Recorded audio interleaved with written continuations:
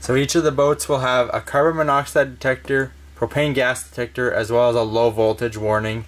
They will look exactly like this. Each of the boat has multiple ones of them throughout the boat. The main things are, so first off is the CO detector. That one detects carbon monoxide fumes within the boat. They're very sensitive sensors. They go off very easily if there's any little bit of carbon monoxide gas inside the boat. If that alarm is going off, it's a very loud, repetitive alarm.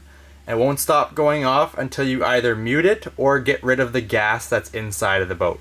So in order to mute that one, you just press and hold this test and mute button here it will beep, the alarm will shut off, but if there is still fumes within the boat, after that mute cycle has gone through, the alarm's going to go back off again. So what you're going to do is if you get that CO alarm going off, first thing you want to do is shut down your generator and engine, open up some doors and windows and let your boat air out to get rid of the fumes that are inside.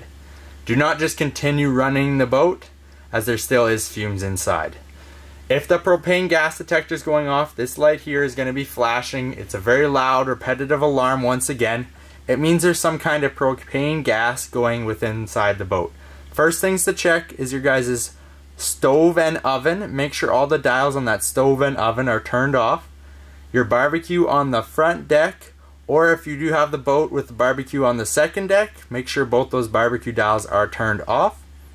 If you need to and the alarm continues to go off, it just won't seem to stop, close up all your propane tanks on the front deck, let your boat air out, then you can open up the propane tanks afterwards as once you close the propane tanks, all the propane going inside the boat is off.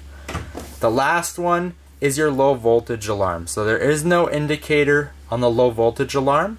You'll see what your battery voltage is at your breaker panel on your inverter panel. So anything below 12 volts, that low voltage alarm is going to start going off. It's a single beep and then about 10 seconds goes by and then it will beep again. That just lets you know that you need to start up your generator and get your boat charging in order for your batteries to get back above 12 volts. If you ever get the low voltage alarm out on the lake, do not be alarmed. Just start your generator up let it charge for about two to three hours to get a good battery charge, and then you can shut your generator back off again if you guys desire.